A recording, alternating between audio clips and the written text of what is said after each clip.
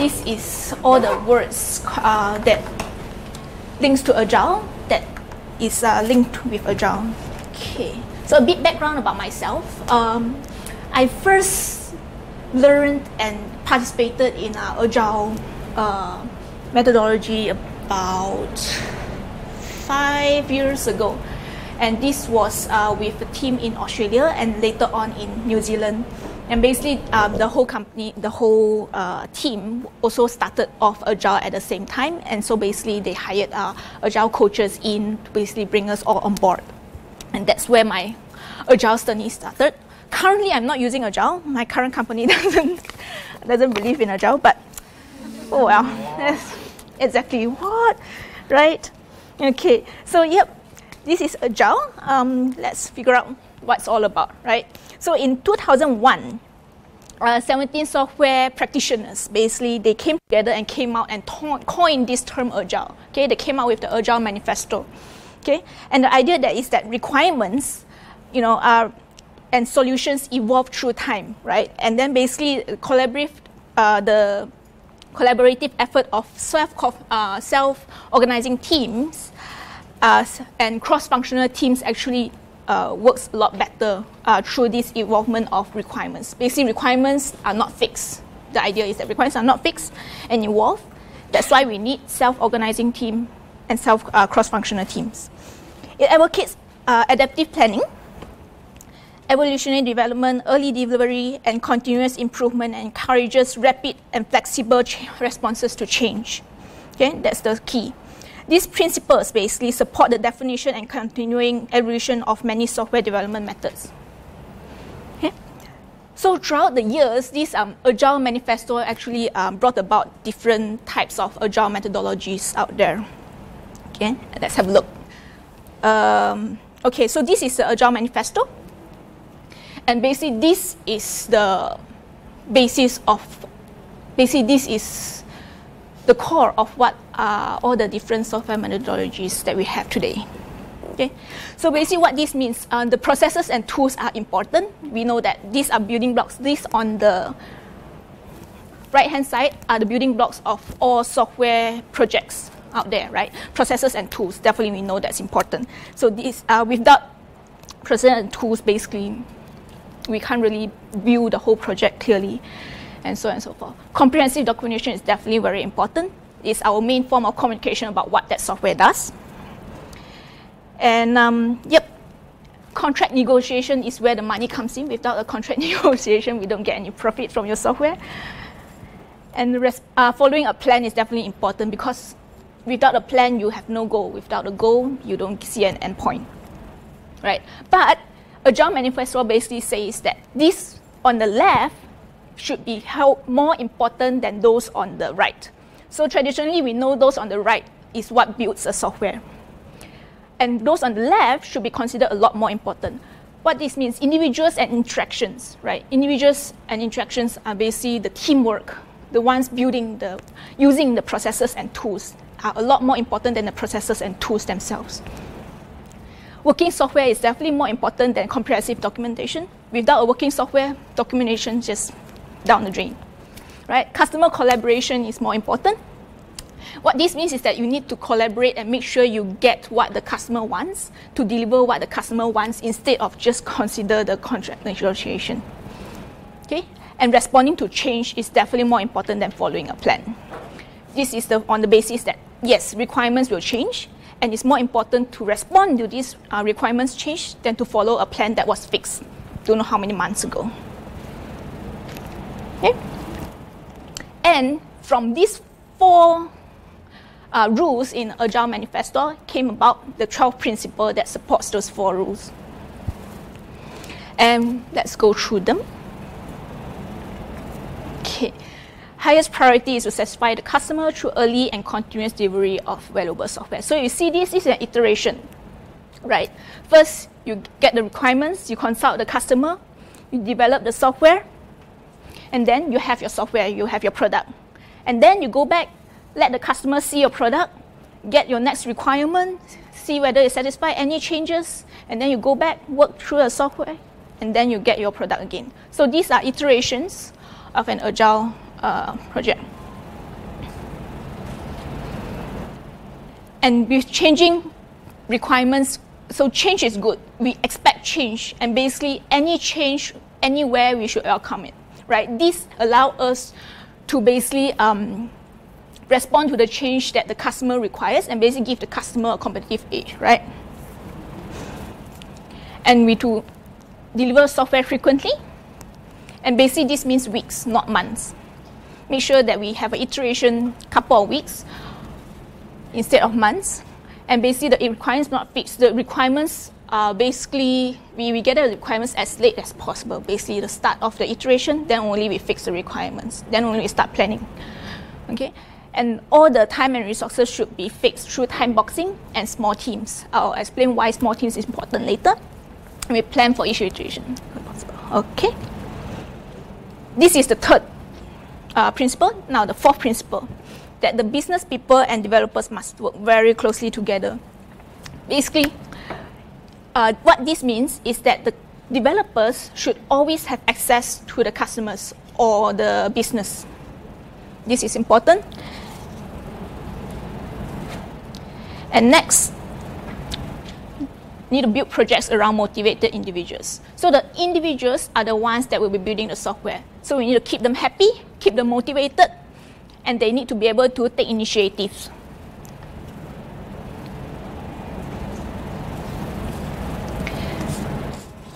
A most efficient and effective way of conveying any idea, right? This is like what we're trying to do with anything we do in project is like the fastest way from A to B. Fastest way to communicate an idea is face to face. No doubt about that. Not through email or anything like that. And not through Skype. Right? Uh, yep. Working software is a primary measure of progress. So basically, regardless of anything else, any milestones, it has to have a working software. It's a key. And it has to be a sustainable development. So constant, constant pace, the, each iteration should be the same amount of time, right? Same length of time. And basically, if you if you think that, oh, let's just um, do the hard work now, we can rest when the, the, the, the, project has ended, that means that you're already off the, off the, off the rails, to so to speak. So, yep. Make sure that it's sustainable, that you don't, the team doesn't take on more than it, it can handle. Okay? And continuous attention to technical excellence, right? Technical excellence, good design, continuous testing, all these equals a quality product. And a quality product means a happy customer. Simplicity is the key. The simpler it is, the better it is. Simple rules for anything, simple um, requirements, simple design is always the best. The more simple it is, the more effective it is. Self-organizing teams. What does this mean? Means no managers allowed. Okay? So the team are the one that organize themselves. They pick up the, the, the, the, the tasks that they think they know they can do and basically, the customers are the ones that set the priority, of course, and they have to pick the task from the priority list. And they, surprisingly, this actually comes out with a better product. And regular intervals, the team should reflect on how to become more effective regularly. Basically, on every iteration, the team should come together and see how they can better themselves. Right? This is, you know, this is like learning you know, learning has no ending. You are always learning, you're always improving, right? Different teams, you might have different things, and the next day you might be joining a different team and you'll work differently also. Okay, so these are the 12 principles of Agile. Next, we'll look at the Agile methodologies. Right, so this, there's a lot of different Agile methodologies out there. This is not an exhaustive list, right? I'll go through only three of them sorry, uh, before I move on to the methodologies, this uh, extreme programming and so on and so forth, any questions? Uh, from the user perspective, not a technical person, how would I be able to convince uh, that Agile is the best solution for a particular project? Yep. So this to me, um, this uh, question has been asked a lot of people, and in my point of view, really this is all about the culture change of the entire company. So the best way, if you ask me, is just get everybody to attend an agile course, right? And then they'll be convinced. But yeah, but uh, in terms of how you can um, convince them, uh, through example.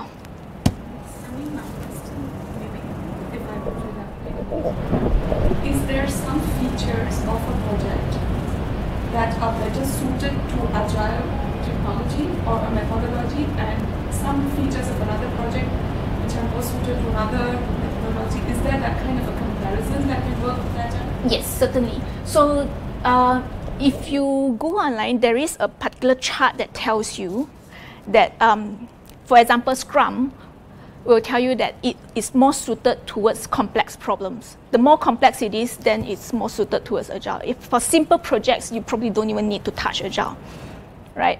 And um, a couple of rules that Scrums also dictates is that your team should be three to nine people. Mm-hmm. And if it's too big, break them out into two teams. If it's too small, don't bother, right? You work better face to face and you just sit next to each other. But definitely you can incorporate some of the agile methodologies, that's for sure. But yeah, there is, yes, a couple of rules out there that you can determine whether or not it's suited for you. Yeah, any questions, others? Okay, let's look at what extreme programming is all about. First recorded use is in 1996. That is before the Agile Manifesto came about, right? Yeah. And why is it called extreme? Because it actually takes the best practices to the extreme uses frequent releases in short development time boxes, formal checkpoints, right? And often used inside the Scrum framework. If you look at the, uh, the Scrum framework later, basically most of these also also inside. And it basically uh, incorporates through these five essential values. So it talks about values. Let me see if I can find this. Yes, that's right. So communication we talked about. Communication is key to any team. Let me tell you, I to me communication is the most important thing of everything, right? Good communication is always better. You get everything will be done a lot smoother, everything will be better. And you basically improves the teamwork basically through communication. Simplicity, again, is a key. The more simple it is, the more effective is your project feedback is very important. Basically, this is how we learn. Without feedback, we don't learn. We just stuck in the same uh, motion, basically. We need feedback to basically uh, learn about things. And this will come to a slightly different stance of feedback. I'll show you later. And um, respect, not just respect for your team members, but self-respect as well is very important. Right? This uh, links to the uh, motivated individual that I talked about just now. And courage. Courage is Okay, so this thing about courage is in terms of the individual courage, have the courage to make changes, okay, to make um, code refactoring, to be able to speak out if they know, know that um, there's a better way to do things, or even they just want to have a question, the courage to question uh, your, whether you have anything uh, that you want to question, you want to ask about, speak up. This courage is very important to have a good communication, that's for sure. And in order for you to have that courage, you need to be able to build a safe environment for the team. Okay, so this is an extreme programming um, feedback loop, planning feedback loop. It starts with a release plan. So start of any project at all, you have your release plan. Basically, this release plan is for the months. And sometimes, basically, you have more than one plan. Basically, you know that there's going to be change in requirements. It's just a dummy plan for the months. So and then you have your iteration plan in terms of weeks. So no longer than a month. Make sure your iteration plan only cover weeks. Acceptance tests to be done in days. And stand-up meeting once every day. Pair negotiation between developers. This should be done in matter of hours. And unit tests should be done in matter of less than an hour. Pair programming again should be done. Basically what is why why is a second is bad? You are constantly coding you're constantly doing it. So pair program and code. And then it goes back. Right? Go back and back and back. So every month you go back to a new release plan. Every iteration you go uh, every few weeks you go back to a new iteration plan. Every couple of days you go back to a new acceptance test. Every day you go back and get another stand-up meeting. That's where this feedback loop comes in so basically the concept, this is the concept of XP. And basically if you do it properly, if you basically implement this properly, you'll get an improved productivity, quality product, and customer satisfaction. Okay? Similarly, this is it. So the, the loop is the iteration. You have your unfinished features, and then you rank them uh, from the most important features to your least important features. And the most important features get incorporated into your iteration planning. And then honest plans is very important. Daily communication, team empowerment, working software. This is the project heartbeat. Okay? So four basic development, uh, four basic coding activities that we know of, right? Everybody is quite familiar of the coding, the testing, listening, and the designing. Okay, so that's uh, extreme programming. Any questions about this?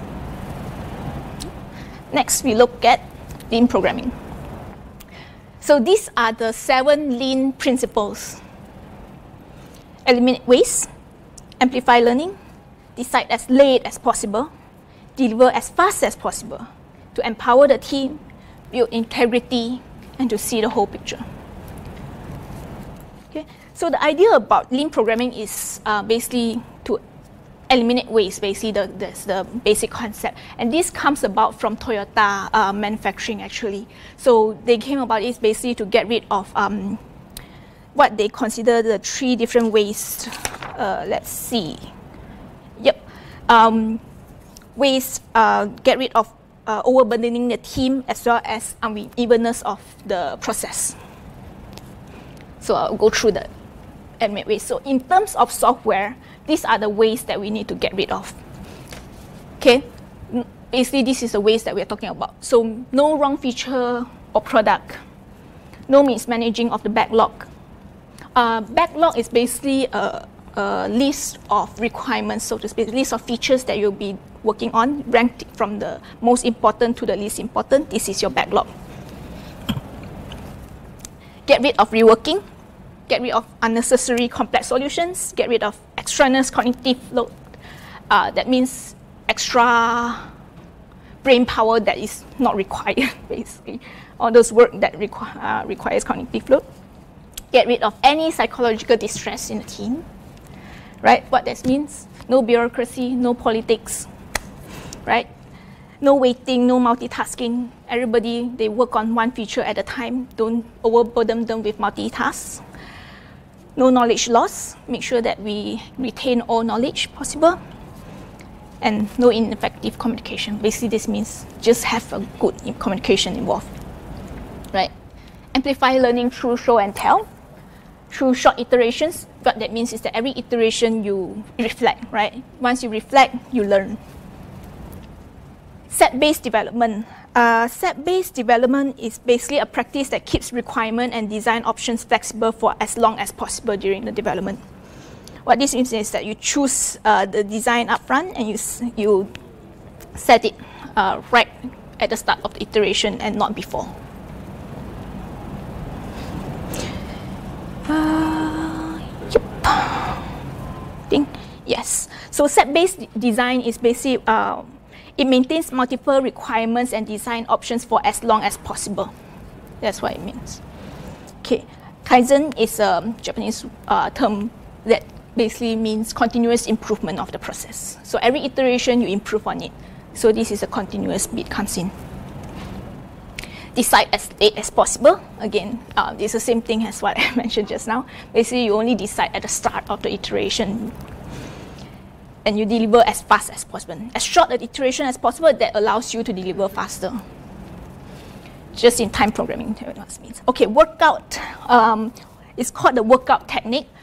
Uh, what that means is that the roles are turned around. The managers are the one that will be listening to the developers, not the other way around. So the managers are taught to how to listen to developers so that they can explain uh, better what actions to take next as well, as well as provide suggestions for improvements, right? And human resources, what this means is that we do not treat people as a resource.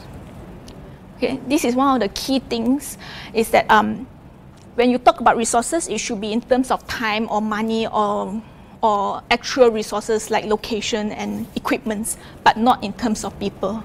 So this uh, uh, it, how do I explain this? Uh, sorry, mind blank for a moment. Uh, yeah, I think you, you get what I mean. so yeah, so if we take the human, the, the people out of the resource uh, planning, we actually gain a better perspective of the project. That's where human resources comes in, where people are treated as human resources rather than a resource of the project. And self-organization, basically the team organize themselves. They are the one that will be building a product. They will be the one that will make the suggestions. They will be the one that will come up with the solution, right? And customer access is very important. This is where we get team empowerment.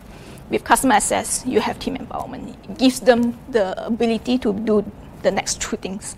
Inbuilt integrity. So perceived integrity is um, integrity in the customer's eyes, right? This integrity to the customer. Um, better product will give you better perceived integrity. Conceptual integrity is the integrity of the team. And architectural integrity is the integrity of your software. And of course, integrity testing is basically to test all this, um, your integrity of your software. Okay? And the last uh, principle, the seventh principle, is to see the whole, to see the big picture, and to make sure that every team member understands the idea, the lean thinking idea. Questions before I move to the next one? Great stuff. Everybody answering. All right, next we look at Kanban. So, who has seen Kanban before? Right? It's a familiar um, familiar scene to most of people. Okay, so these are the different ways to do a Kanban.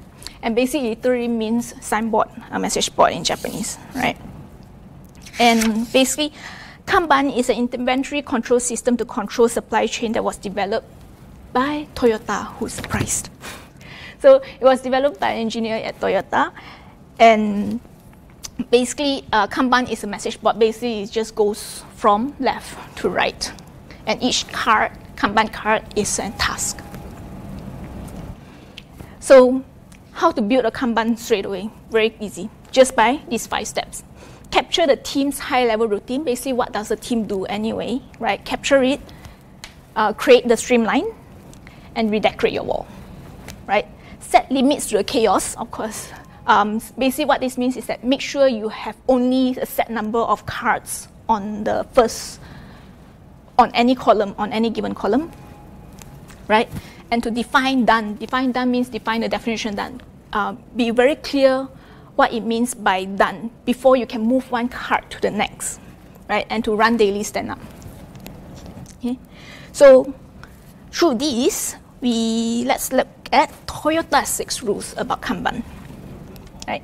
Later processes picks up the number of items from the earlier process. What it means is that each card should only go from the left to the right, right? And only when they have completed that process, then only they are allowed to move to the next, right? To be considered done. Earlier process produced items that are of quality, sequence included. What I just said, sorry. And yep, all processes cannot be without the Kanban web. Just means just make sure that every single one of them is illustrated as a card on your Kanban. Right? And um, basically, every, uh, uh, what this shows is that each card is a pull process, not a push. What this means that only when the engineer is available to pick up a task, then only he'll pick that card, put it on the, ne- uh, on the next uh, stream. Okay, and how does this work? Basically, if you look at here, you see that there are there are these little names right there, right? So when you pick up a task, you put your name on the card. Simple as that. Okay. Questions? Nope. Give you a brief overview is that you know this is our who code um, Trello board. There are a couple of tools out there that does similar Kanban style right? You have your activity, your resources, and so on and so forth. And GitHub also now has a project board. Similarly, you have your to-do in progress done. Similarly, you can assign people to them, right? All these are cards. Now, for Kanban, the one of the key things about Kanban is it has to be visible to all, and visible to the team especially, of course, that's doing the work at all times. So what this means is that this actually does not fit the definition because this are, uh, what do you call it? Uh, everybody on the PC, not actually on the wall. So they do uh, encourage to have the Kanban on the wall. And most of these uh, manufacturing companies, what they do is they have an electronic Kanban. So it's always displayed on it's a big screen TV, and the Kanban is always displayed to everybody on the team. All right. Uh, yep, and that's it. Yes. Questions? Can Trello replace the digital Kanban Of course. without the sticky? Of course. Yeah, so just uh, again, like you just have a big screen TV, have your Trello board on it at all times. Yeah.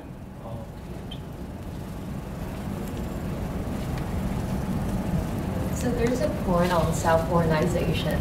I just want to, um, if you can share some detail on how does it work? Because when we thought about self-organization in a team, a lot of time people don't really understand each, each other's tasks and maybe their advantage and how each other can work together on projects. So a lot of time you still need a manager to uh, delegate different tasks to people. So I'm not sure how does it work terms Uh, yeah. So, so all these twelve principles has to come together.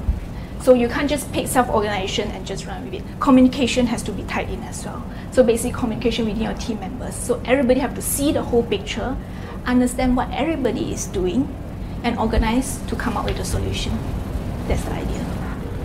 So yeah, uh, it also ties in with the team empowerment. You know, you make sure that your team, each member actually understands the big picture, understands the communication through within each team member, and how they can develop and come up with the feature with you know as perfect as possible.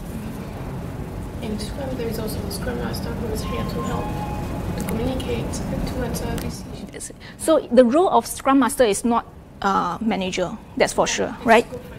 Yes, so it's to facilitate. Basically, they are there to answer any question in terms of the process, not actually how the team operates. So the best, uh, Scrum Master who has done her job, his or her job, basically, is one who can recruit, you know, uh, excuse herself after uh, a couple of iterations. Basically, we don't need a Scrum Master anymore. It Means that he or she has done a great job. The team can run on its own.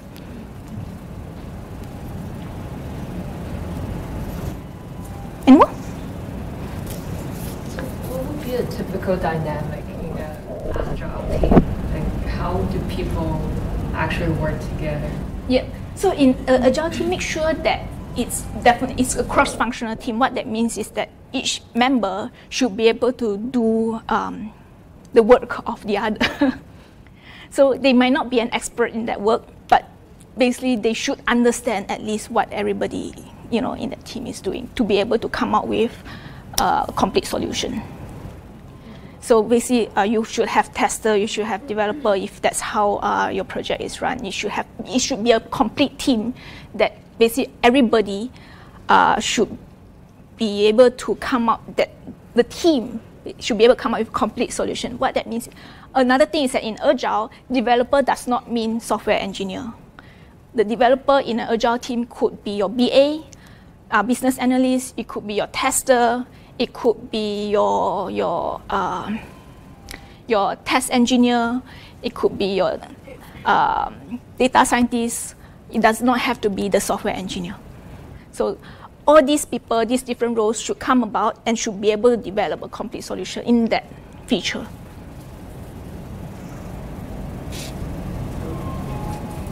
Good question. And if anything else, you can always approach me after this. And did I overshot? I'm so sorry. Pizzas? Let's have a quick break before our next speaker.